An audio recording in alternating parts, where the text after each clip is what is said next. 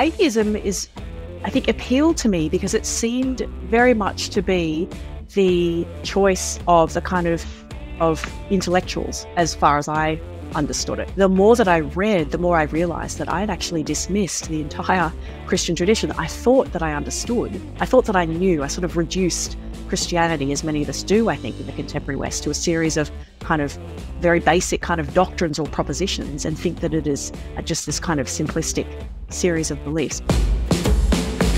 Unapologetic from Premier Unbelievable. Well, I am absolutely delighted to be joined today by Associate Professor Dr. Sarah Irving Stonebraker, who is an Australian based academic focusing on the history of Britain and the colonial world, particularly the intersection of religion, science, and politics. Sarah is the author of the award winning Natural Science and the Origins of the British Empire, and she's got a very exciting upcoming book, Priests of History Engaging with the Past in an Ahistoric Age. Sarah, thank you so much for joining us today. Oh, thank you so much for having me, Ruth. Well, I'm so excited to hear more about your incredible book, Priests of History. We're going to be talking about that on another episode. But what I'd love to talk to you today um, is, is just a bit of your story as you tell it in Coming to Faith through Dawkins, because you have such an interesting journey. And I'd love to go, if you don't mind, Sarah, can we maybe just go right back to the beginning? I mean, what was your experience of God, of religion, of these big questions of life as a young child? Yes, well, I actually grew up in a non-Christian family.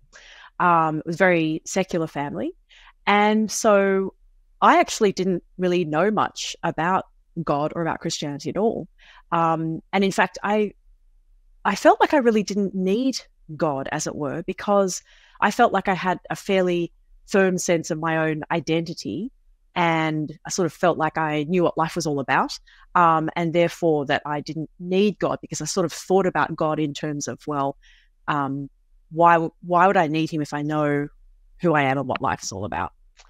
Um, and yeah, and for the most part, I think it's because I was the kind of person I was very sort of academic, uh, scholarly child, and I had this dream from when I was a child that one day I would go and study at Oxford or Cambridge, and so that kind of academic drive and that kind of sense that, well, life's about kind of just fulfilling these kind of academic ambitions meant that I kind of just uh, never really took seriously, to be honest, the claims of Christianity. And so, did you kind of look at different religions and then decide on atheism, or was it more just that was kind of where you were already sat, and and you thought actually this is this is a good place to be? Yeah, no, that's a really interesting question. Um, actually, atheism is I think appealed to me because it seemed very much to be the choice of the kind of of intellectuals as far as I understood it. Um, atheism seemed to be, or kind of secular humanist atheism seemed to be the kind of natural choice of somebody who, and this was the kind of, it, it is actually really quite crude, but the kind of one of the myths I think that we have about the modern world is one which I to which I subscribe, which is that really um, modernity and reason progress have sort of emerged in such a way that they um, emancipated themselves from the shackles of religion. And therefore, as somebody who was intellectual, um, Christianity was something that I would dispense with too. And therefore, atheism, secular humanism seemed like a kind of natural choice. Well, and you did end up going to both Cambridge and Oxford, so well done you. Um, and while you were there, you were studying the work of natural philosophers such as Robert Boyle and Robert Hooke, and they began to challenge some of your assumptions, didn't they? Would you just say a little bit about what studying them sort of meant for you and how it kind of slightly unsettled you? Yeah, this was really quite fascinating. Um, so I was uh, studying for my PhD thesis at the University of Cambridge, and um, really the topic was about the relationship between um, the origins of we would now call it natural science. So I studied natural philosophers, as they were called in the 17th century, and the British Empire. And so I was studying um, people who, uh, some of whom are quite well known today, um, among whom are people like Robert Boyle, the founder of modern chemistry in many ways. And the interesting thing is that Boyle, in his work, the more I read of Boyle's work, the more he seemed to be talking about theology in the very same texts that he was talking about why he actually studied the natural world. Um, Boyle quoted the scriptures um, was particularly in, engrossed with this kind of idea about um, what it meant to kind of steward God's creation well. Talked a lot about the um, the Genesis idea in chapter one that humanity is kind of given this responsibility to have dominion or stewardship over the earth, and that this framed his idea of the natural sciences. Um, and then I came across Robert Hooke, who, in the preface of his work Micrographia, which is really one of the formative texts on um, the origins of the microscope and so significant too for using the microscope as part of the experimental method. And yet, in that text, Hooke too does a similar kind of thing. Um, here's a text about the microscope, and yet what it's talking about is actually, and here's an interesting thing, that the microscope is in many ways a, an attempt to kind of repair the effects of sin in the fall on the human senses. And so, what Hooke actually explains in the preface to that text is that actually the use of the microscope helps to kind of, um, as a kind of reparation of the damage that sin in the moment of the fall wreaked not only upon our moral, obviously, we understand the fall as a kind of a, a moment of a moral turning away from God, but Hooke and others had this sense that actually sin affected our cognitive capacities, our, our intellect, our reason, but also our senses. And so here's Hooke writing a text about the microscope and is talking about it in theological terms as a kind of attempt to repair the effects of the fall on human senses. So, actually, what Hooke thinks is that what we see through the microscope on a microscopic level is a far is sort of an approximation of what Adam and Eve would have been able to see with their plate with their sort of naked eyes before the fall. And so that made me um, think twice about Christianity, um, at least about a kind of at least about a kind of assumption that I'd always had about Christianity and science, which is a kind of a natural one in many ways for somebody in the late, the early 21st century, late 20th century, early 21st century, which is that science and religion have nothing to do with each other. And so while it didn't make me a Christian, as it were, it I think it did help to set me on a path of having to take seriously the fact that no, no, actually, in the past, intellects, including um, some of the founders of modern science, took their faith enormously seriously. And I think that was the moment at Cambridge when I realized I might have to at least take Christianity seriously too, or at least not dismiss it in the way that, to be honest, I really had. Well, and you know, you've touched on a, a, key point that actually lots and lots of atheists would just assume to be true that religion and science are not compatible. Do you know why you had taken on that assumption? Yeah, it's it's interesting, isn't it?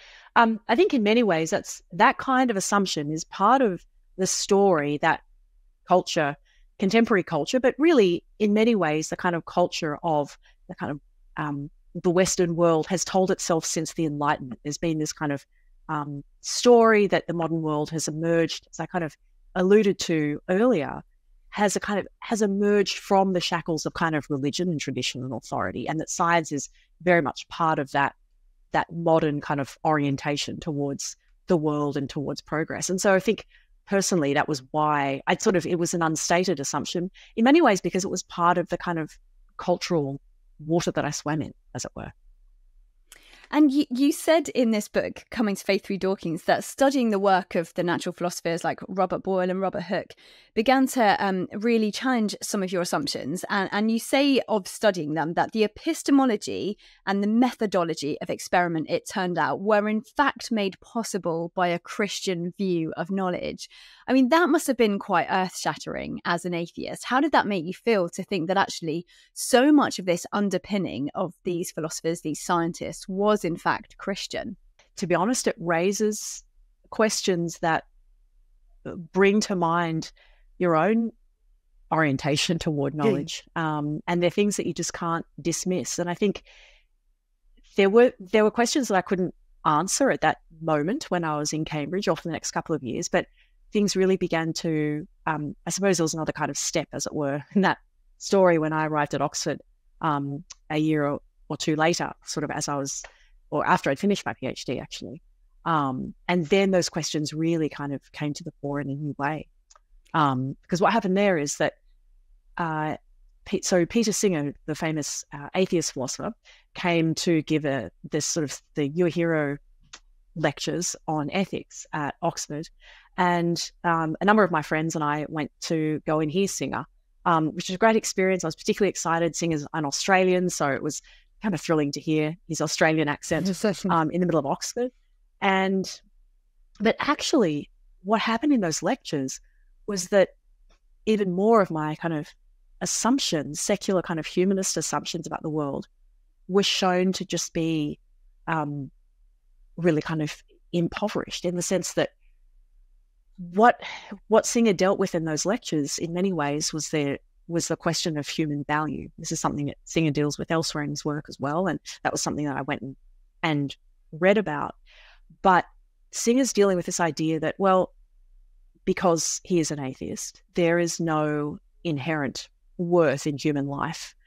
Um, and therefore, that kind of the idea that all human beings are of equal moral worth and of inherent kind of worth is, as he calls it, a kind of Christian myth. It's something we need to dispense with. And so Singer puts forward a very different utilitarian kind of understanding of ethics. But what happened was that I left those lectures with a kind of profound intellectual vertigo because what I kind of assumed were sort of self evident truths, um, it turns out weren't actually sustained by atheism at all. Because as Singer quite reasonably points out, and it's in, it's entirely entirely the case that no, to actually believe that every human life is of equal moral worth uh, presupposes that you have this kind of view of the kind of of the uniqueness and preciousness of human life, which has historically just been given to us from Christianity. It's not actually a view that atheism can sustain. Um, and indeed, you know, if you look at the natural world, there is a vast hierarchy of of talents and of capacities and lack of capacities, intellectual and um, so forth. And so, actually, if the natural world is the ultimate reality, then building a system of ethics that somehow honors the innate and equal dignity of human life simply doesn't work. So that that kind of moment, um, which I went to those lectures and came home and talked about this with a number of my friends, um, and started kind of reading more about atheism. Again, it kind of it made me realize that I that a that atheism couldn't sustain my deepest moral commitments, um, and that secondly, the fact that those commitments were inherited from the Christian intellectual tradition was something that I would need to actually take seriously. So this is look, this is a I'm kind of condensing a bit of a story here, but um, yeah, it's another significant moment, I guess. Yeah. Well, because there's a really key moment in the book where you say that Singer's belief that not all human beings are of equal worth alarmed me. But soon I began to question why I was alarmed. And I suppose that's the key thing, isn't it? It's one thing to be alarmed that you know if you kind of push your atheistic beliefs to the logical conclusion this is what happens. But then to be alarmed by that that unsettles you and and obviously began you you started on a journey of trying to figure out why you were alarmed. Yes. Yeah that's right. Um but i but i but the point is that that i was and i couldn't make sense of why i would be alarmed if as it were that if it were unproblematic that that atheist view of the universe and of the ultimate character of nature and humanity were actually true. That's right. Yeah. Well, let's just rewind back a little bit because it was the kind of the science religion thing that was like the first block, wasn't it? Then it was the Peter Singer yep. morals and virtue and, and human dignity. But just going back, I mean, this this book coming to faith through Dawkins, like obviously Richard Dawkins whether you were like a huge fan or not, obviously his kind of philosophy and the atheistic worldview uh, had had definitely, you know, that was kind of the landscape within which that you were working in. And you quote um, something from the God Delusion, which I'm sure lots of atheists would would definitely adhere to, um, where he says. It's a tedious cliche, and unlike many cliches, it's not even true that science concerns itself with the how questions and only theology is equipped to answer the why questions. Now, do you have any idea why he didn't think that was true? Why it wasn't that? Because I guess that's like the sort of Christian pat answer, isn't it? That science and and um, religion can go together because one answers how and one answers why. But why do you know why Dawkins and the other new atheists think that that is not the case?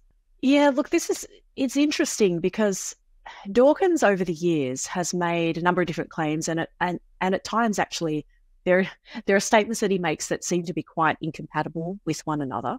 Um, and I think if you know if one were a kind of a, a sort of scholar of Dawkins' work, we could probably tease this out in a little bit more detail. But it's probably just worth noting, though, that um, that at times, you know, Dawkins seems to claim that um, that there ought to be no particular uh, that he that he's okay about living in the kind of moral universe in which there is at bottom, to paraphrase that very famous quote from him, no evil would, and no good and so forth, no objective moral truths.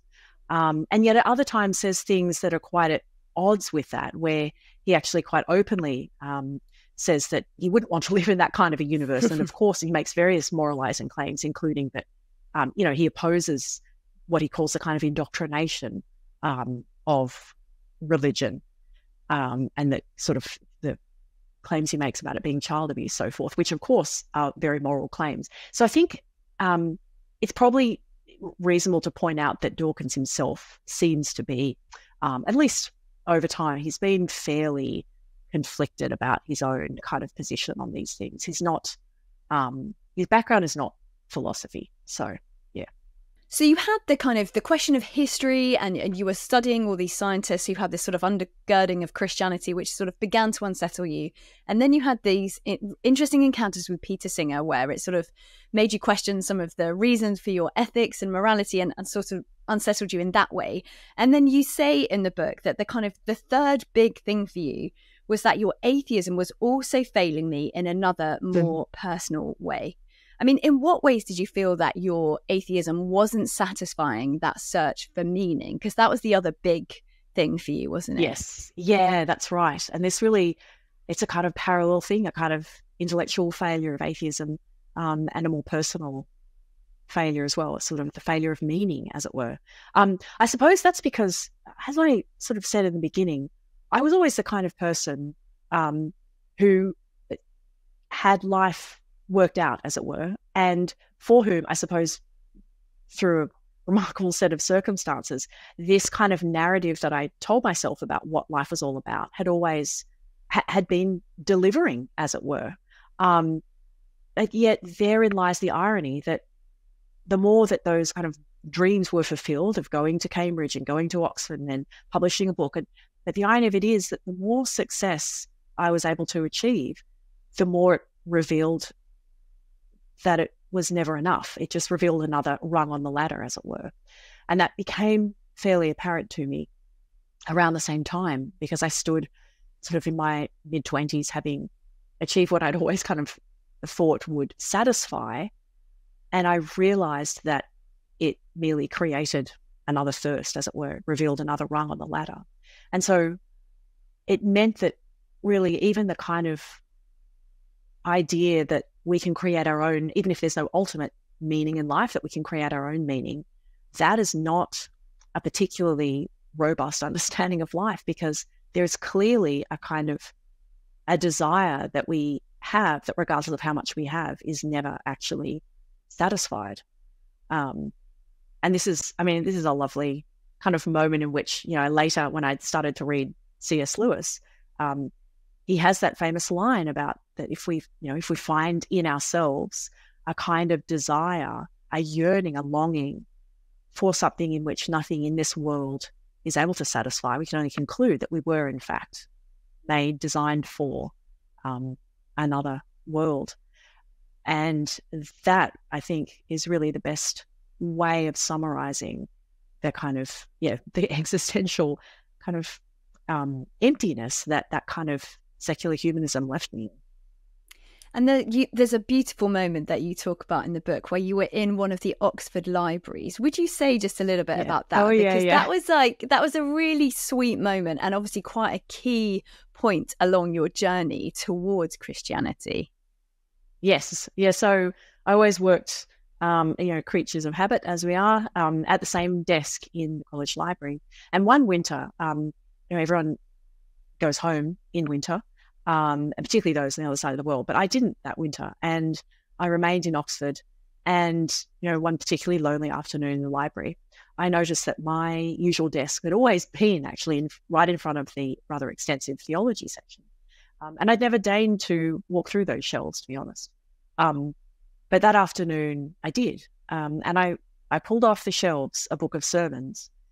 And I, I to be honest, I expected to read a, the kind of the caricature of Christianity that I'd always had, which was that it was self-righteous, that it was pious, that it was vague, there was no genuine intellectual content. Now, of course, I, re- I realize what an arrogant assumption that is, right? But I opened this book of sermons and I begin reading, and it's actually incredibly intellectually robust and profound. And moreover, the so the sermon is point, pointing to a number of biblical passages, but the one that I remember in Psalm 139 is this idea that God created us, fashioning us within our mother's wombs. And I suppose that idea, to be honest, that that we were made and there's a kind of givenness to our existence, and that actually contra my very kind of millennial understanding that we invent our own lives in this kind of relentless search for self creation, this idea that our existence and our dignity, therefore, might be given to us by God, um, just was was incredibly compelling. And look, from there, I sort of began to. I was still you know, very um, critical and skeptical, but I began to read more and more. And what I found the more that I read of the Bible. I mean, I, to be honest, I read theology before I read the Bible, but um, the more that I read, the more I realized that I had actually dismissed the entire Christian tradition. I thought that I understood. I thought that I knew. I sort of reduced Christianity, as many of us do, I think, in the contemporary West, to a series of kind of very, um, very basic kind of doctrines or propositions, and think that it is just this kind of simplistic series of beliefs. But actually, the richness of this story of God revealing himself to humanity, the kind of brokenness of humanity, the idea of God becoming flesh in the person of Christ and redeeming the world in its suffering. Um, and that and that this, I mean, of course, appeals to me as a historian too, right? That this is actually part of a, a whole story which makes sense of not only human experience on a personal level, but in fact of time, of history.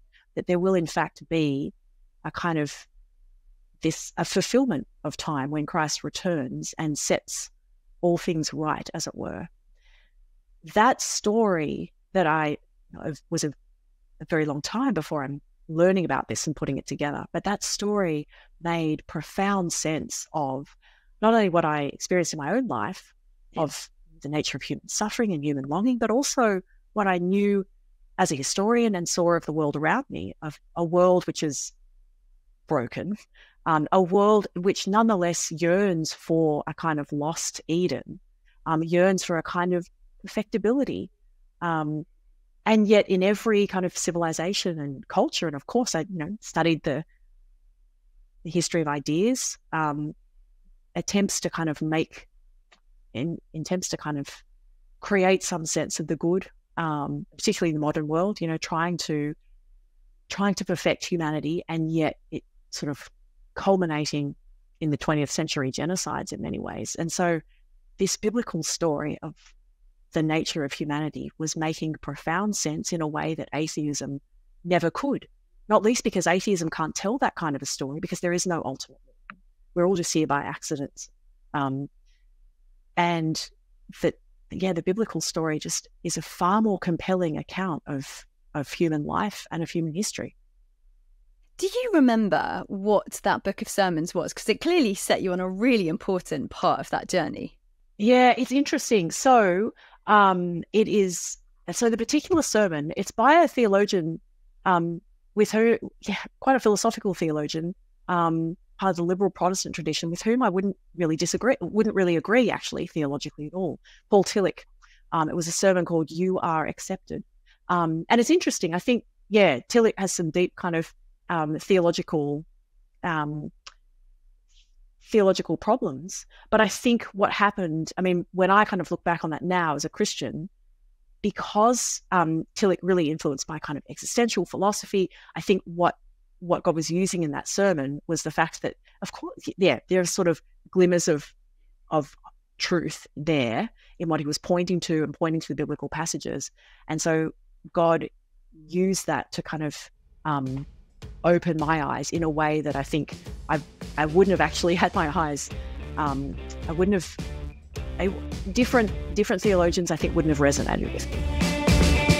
Unapologetic from Premier Unbelievable. For more shows, resources, and our newsletter, visit premierunbelievable.com.